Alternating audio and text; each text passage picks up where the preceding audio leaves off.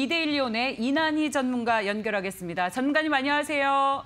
네, 안녕하세요. 네, 안녕하십니까. 자, 오늘 장에 주목할 특징주 공개해 주시죠. 네. 저 앵커님은 투자자들을 위해서 어, 수익을 내는 한 가지 방법을 네. 어, 팁으로 준다면 어떤 게 있을까요? 어떤 게 있을까요? 네. 예, 제가 첫날이라 주식- 좀 긴장을 했습니다, 아, 전문가님. 그렇죠. 예, 네. 뭐 보통 이제 뭐 싸게 사서 비싸게 팔아라 뭐 이렇게 그죠 얘기를 하는데 예. 오늘부터 보면은 공매도가 아, 되게 됩니다. 그러면 이 기관이나 외인들은 이 공매도를 가지고 이제 수익 구조를 형성하는데요. 여러분들이 살짝 이해가 잘 안 되실 거예요. 왜냐하면 어 이상하네. 왜 주가를 밀어야만 그들은 어, 수익 구조를 형성할 수 있는가? 그럼 이 공매도에 대한 원리를 잠깐 여러분들이 아시면은 이것을 여러분들께서 수익 구조로 역용할 수가 있습니다. 그러니까 쉽게 말하면 만 원짜리 주식을 100주를 빌려서 사는 거죠. 공매도라는 건 주식이 없는데 그러면 100만 원을 빌렸는데 나중에 주가가 어, 5천 원으로 빠지면은 50만 원이 되잖아. 그죠? 근데도 어, 왜 50만 원의 수익이 나느냐면은 이 공매도라는 거는 가격을 측정하는 것이 아니고 수량만 맞추면 되기 때문에 빠지면 빠질수록 예를 들어서 만 원짜리가 5천 원 가면 50만 원 어, 예를 들어서 100주를 샀다 그죠 50만 원 더 빠지면 더 수익 구조가 형성이 되는 겁니다.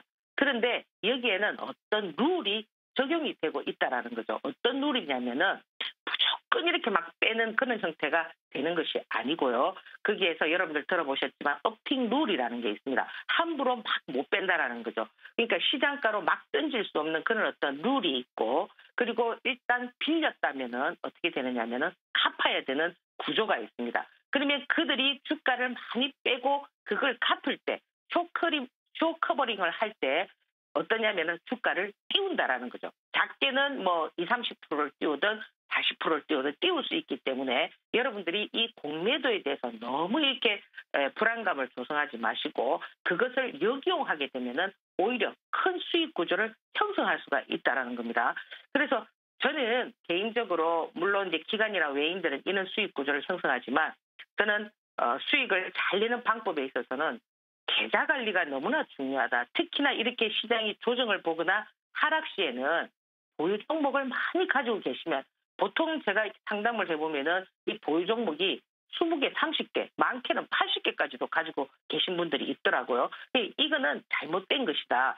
이 계좌 관리를 잘하면서 현금 보유를 어떻게 하느냐에 따라서 언제든지 여러분들께서 수익 구조를 형성할 수 있는 그런 트레이딩을 할 수가 있다는 겁니다. 그래서 오늘 그런 맥락에서 제가 지금 보면 시장이 조정을 보고 있기 때문에 시장을 조정을 볼 때는 이 기술적인 부분을 상당히 많이 이 보셔야 되는데 가장 강한 것들이 뭐냐면은 오일선이 살아있는 그죠? 그런 어떤 추세 매매가 돼야 되는데 오늘 제가 뭐 이지바이오 같은 경우도 보면은 그죠? 여러분들이 충분히 그 뭐 내용 가치는 요즘 뭐 곡물 관련한 식량 대란 그죠 그리고 일본의 뭐 오염수 방류 뭐 이런 걸로 해서 움직일 수 있는 재료 구조를 가지고 있습니다. 그래서 그 기술적인 부분이 현재 보면은 오일선을 타고 있기 때문에 뭐 오일선 기준에서 여러분들이 좀 보시면 되고요. 그리고 지금 또 핫한 부분들이 뭐냐면은 철강이나 조선 뭐 이런 쪽으로 좀 많이 움직이고 있죠. 그죠? 그래서 두 번째는 뭐 하이스틸 같은 경우도 상한가를 쳤습니다. 왜 이런 상한가 종목을 봐야 되느냐면은 강한 종목을 봐야 된다는 거죠.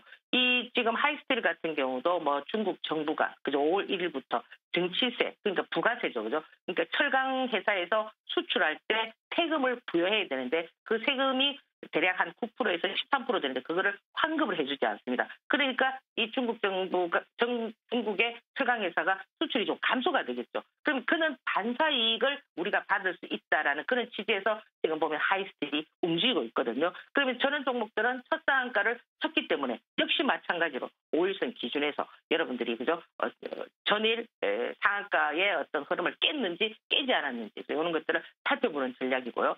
뭐 또 하나는 보면은 지금 고공행진에서 날아가고 있는 STS 그죠 중공업인데 이거는 상당히 상승을 많이 했기 때문에 역시 이 부분도 어떤 기술적인 흐름에 의해서 여러분들이 트레이딩을 하셔야 된다 이렇게 말씀을 드리고요.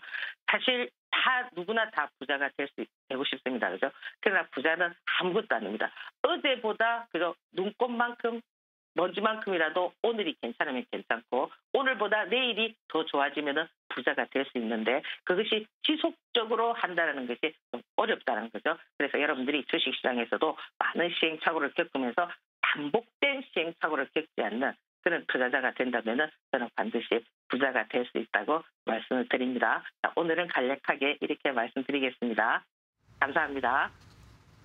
네, 전문가님 잘 들었습니다. 네, 감사합니다.